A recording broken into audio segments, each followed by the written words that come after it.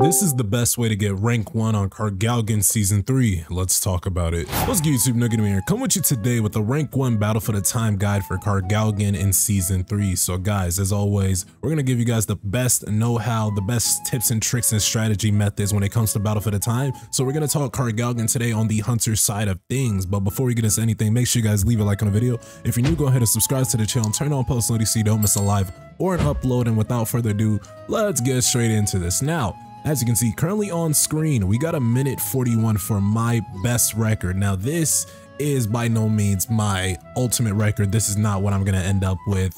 I honestly think this is a very slow time, but without further ado, let's get straight into the team. Now, I'm gonna be honest with you guys, man. The free to plays are not gonna like this battlefield of time because it is very, very, very heavily based on the latest character release, Amamiya Mirei. Now, the highest advancement you have on her is going to determine what your score is going to be. What also is going to de determine your score is going to be the Breaker Wu Jin Chul, right? I think this is the only team you can run currently, and that's going to be Mean, Wu Jin Chul, and Amamiya Mirei. I haven't tried Meilin. I do kind of want to try out Meilin, but we'll probably try it out some ways down the line. Now, as far as the artifacts for them, on Mean, we're running Burning Blessing. On Wujin Chul, we're running 4P Solid Analysis and 4P Outstanding Connection. And on Mirei, we're running Full Curse. Now, we can change up Mirei's artifacts just a tad bit. There's a few artifacts I want to try out, man. Maybe like Toughness, maybe like Two-Piece Curse and a bunch of other DPS-based sets. If you have any of those sets, you can definitely try that on. But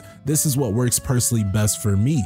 As far as the shadows, we're going Igris, Iron, and Serbi. That's always going to be the perfect method for the Hunter side of things. You can go Baruka to get that extra attack, but I think you might want to prioritize getting crits here, right? I've seen some people doing some runs with them using Serbi first, which has been very, very interesting. I might have to try that out myself, boost that critical hit damage, because honestly, this one is pretty interesting. Now, Something that is very, very, very important and I think comes into play for this specific Battle for the Time is going to be Hunter weapons. If you have the Hunter exclusive weapon, you're going to be in a much, much, much better spot. My score is super, super low because while Mirei does have her weapon A7, I have no advancement. I don't even have a Wu Jin Chul weapon. And then Means his is at A0. If I get Means up a bit, this will help out his Heavenly Blessing. We're going to use Means alt, and this is going to boost team members damaged by 4% for 16 seconds. Now, the higher I have it, the better off I will be. So you guys might want to consider doing that. I do have a few Hunter exclusive weapon designs. I have some salvageable SSRs as well. And I do have a bunch of mana power crystal selection chests. So I honestly think I can say shave about a cool 20 seconds off of my run. But if we get into the weapons, man, you honestly are whoever has the best advancements on their hunters and their hunters weapons will win the battle. Now, if we max this out, you can see what I'm talking about. Now, when me uses his ult at advancement 5 or higher, it's going to boost the team member's damage dealt by 16%. Now, from 4 to 16%, that's going to be a big difference. And even Wujin Chul's weapon on advancement 0, this is going to, you know, it boosts wind damage members damage by 4% just when the enemy enters the break state. And then if we max that out, look like come on look at that like 12% boost and then imagine that 16% boost from a mean ultimate. Honestly there is a lot a lot a lot of things i could do better to get a better time but currently at the moment this is what i'm rocking the a0 mean weapon. And then for the boy Wujin Chul we did put on the steel longsword. This will increase damage dealt to enemies that have the weakness effect so that's by 12% at advancement 10 and then he's also getting that increase in attack defense and hp by 10% since this weapon is advancement 10. If you don't have, let's say, means weapon, what I was running was the Ancient Grimoire. This one increases the power gauge by 32%. It's pretty cool. Honestly though, as far as the team guys, I don't think there is a better team to run here, right? If you do have a better team, please let me know in the comments. I'm honestly still trying to figure out if there is a better team I can use here to shorten my score. But without further ado, let's go ahead and get straight into the methods on how you want to play Kargalgan Battlefield of Time. Alrighty, let's get straight into it. So, off rip, we're gonna start off with the boy Mean, and then what we're gonna do, we're gonna shift about one to two times just straight in the middle, and the second I press this punishment effect, I'm going to hard switch to Amamiya Mirei and then activate her ultimate. You're pretty much not even gonna see it. If I really slow it down, you didn't even see me use Mean's ultimate. So, I think what's really important for this boss specifically, or really any hunter battlefield of time, is gonna be the hard switches. So, you guys don't even see mean use the punishment, but he will use it as you can see, right? So the hard switch to Mirei used the ultimate and then there's mean using the punishment, right? So the punishment is there. I did activate punishment. So the hard switch is how fast you're reacting, guys. You got to be locked in here. Now, honestly, this might be one of the worst phases, phase ones I've ever been a part of, but these mobs, uh, the RNG on these mobs is so crazy. It will take a lot of retries. So you got to be patient. This battlefield of time is very exhausting. I can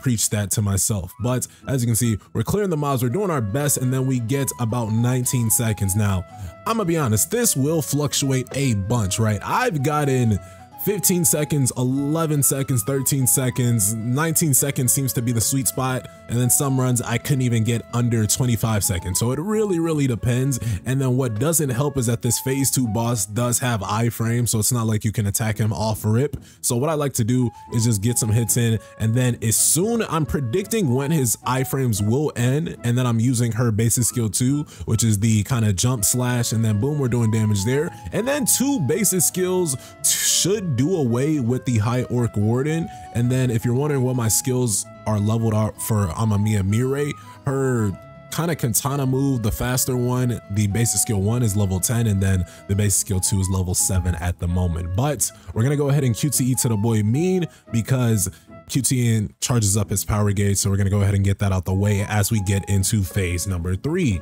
I am not going to use punishment here. I think the cooldown might not have been available by the time Wu Jinchul break. I could have used punishment, but we're using lighter conviction. Really doesn't matter which one you use. The preface is though, we're gonna go ahead and use a core attack now QT to the boy Wu Jinchul, and now we're gonna go to town with the boy Wu Jinchul. Now keep in mind that Wu Jinchul's core attack will stun the opponent. So what I like to do is I like to use his basic skill one and basic skill two, kind of time up the stun. Because if you stun him about midway to his break gauge, then boom, you can get a little bit more damage in, and then you can kind of see how that looks right there. So boom, before he even disappears, he has what, like 30% of his break gauge left. Not bad, not bad. So we're running down here. We're gonna summon the shadows because Wu Jinchul is very, very close to breaking. And then when I'm about to break, and it's really, really hard to kind of predict when you're about to break, but when I'm about to break, I'm gonna hard switch to mean and then activate the punishment once more. You're gonna see it. It's gonna be quick but I did act, I'm, I'm already here. So you see break on screen, but you see mean in the cut and then you see the punishment already on cooldown. I'm very, very fast with it. I think the hard switches is going to be your best friend in this battlefield of time. So it took me a lot of times to finally get this perfect attempt though, with the break lining up with the hard switch to mean, but we're gonna go ahead and use punishment, use the ultimate right after. We got shadows doing shadow things in the background, but honestly, all the DPS lines up. And then after that, a hard switch to Mirei. Again, guys, you're not even seeing me swap to these characters. The hard switches matter greatly. But let's go ahead and activate Mirei. And now we're going to town on the boy Kargalgan. And this part, is really just a one-on-one. -on -one. I'm gonna be honest, or really 20 on one if you count the shadows, but we're doing as much damage as we can.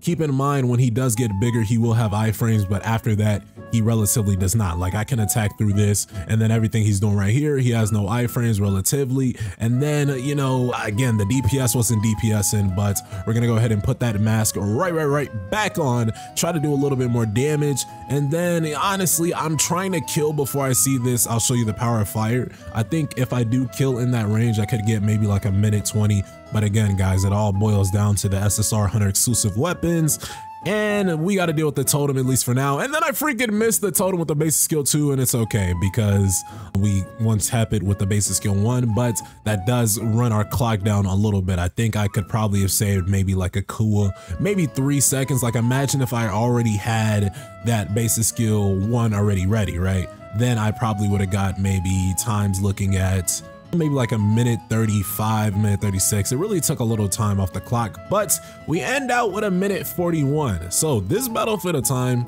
is honestly real standard, real easy, real straightforward, but what's your lineup is looking like will greatly depend. As you can see, I'm a minute ahead of a minute and some seconds ahead of number two currently, but like I said, guys, this is exactly the team you want to run. But what do you guys think of this team? What do you think of Kargalgan Season 3? Go ahead and leave your thoughts, theories, and comments below. And while you're at it, be sure to leave a like on the video, subscribe, turn on post notifications, all the other good stuff, and join that Discord server, the Noken Mafia.